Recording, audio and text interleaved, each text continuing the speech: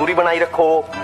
क्योंकि भाई साहब सवारी अपने सामान की आप जिम्मेवार है।